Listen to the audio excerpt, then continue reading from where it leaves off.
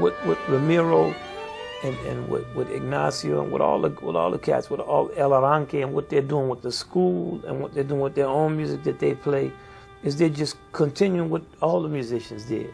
It's a long line.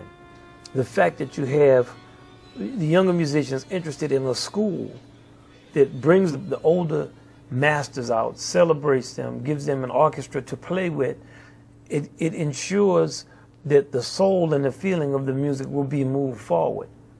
Rather than a lot of times when we, with the, with the type of generational separation that's occurred in the last 30 or 40 years in the world, mainly because of rock culture, pertinent information of, of, about meaning gets lost from generation to generation.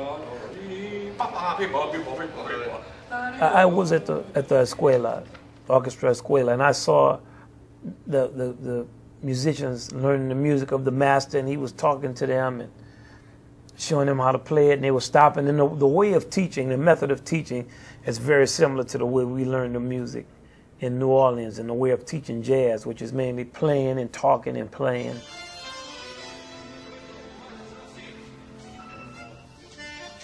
You can't learn any of it from books. You have to learn how to play music on the bandstand. The first row is not close enough. You got to be on the bandstand.